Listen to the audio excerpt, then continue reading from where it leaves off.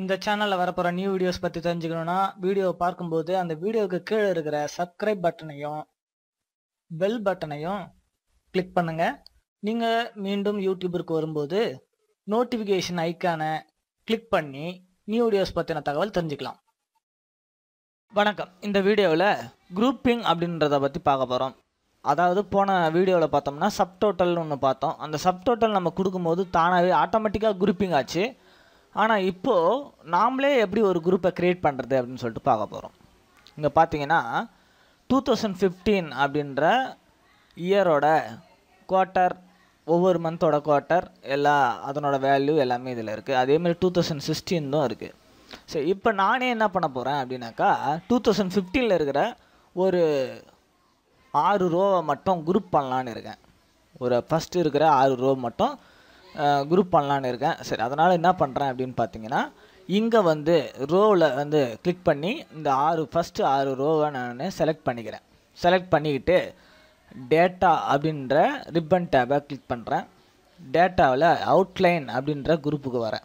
இந்த அவுட்லைன் அப்படின்ற குரூப்பில் இருக்கிற குரூப் அப்படின்ற பட்டனை கிளிக் பண்ணுறேன் பாருங்கள் நான் கிளிக் பண்ண உடனே என்னாச்சு அப்படின்னாக்கா இந்த ஆறு ரோவும் ஒரு குரூப்பாக மாறிடுச்சு.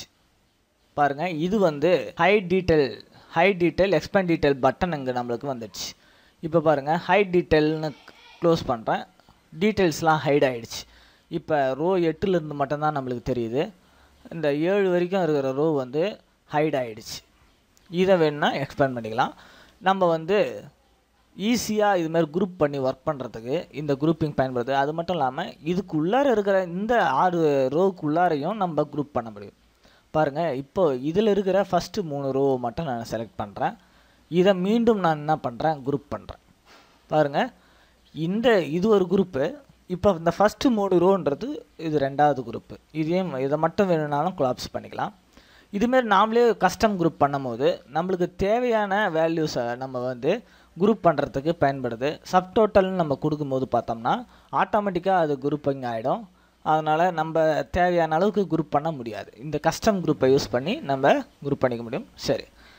இப்போது நீங்கள் எதனா ஒன்று அன்குரூப் பண்ணணும் அப்படின்னு நினச்சிங்கன்னா ஃபஸ்ட்டு இந்த இந்த மூணு ரோவை நான் செலக்ட் பண்ணி இந்த அன்குரூப் அப்படின்ற பட்டனை நான் கிளிக் பண்ணுறேன் பாருங்கள் இந்த குரூப் மட்டும் அன்குரூப் ஆகிடுச்சு எல்லாத்தையுமே நான் அன்குரூப் பண்ணணும் அப்படின்னாக்கா இங்கே எதனா ஒரு காலமில் செலக்ட் பண்ணிவிட்டு இங்கே இந்த அன்குரூப் கீழே இருக்கிற இந்த பட்டனை கிளிக் பண்ணிட்டு கிளியர் அவுட்லைன் அப்படின்னு இருக்கு இல்லையா இந்த கிளியர் அவுட்லைனை நான் கொடுக்குறேன். பாருங்கள் மொத்த குரூப்புமே அன்குரூப் ஆகிடுச்சு சரி ஓகே தேங்க்யூ ஃபார் வாட்சிங் மீண்டும் அடுத்த வீடியோவில் சந்திக்கலாம்.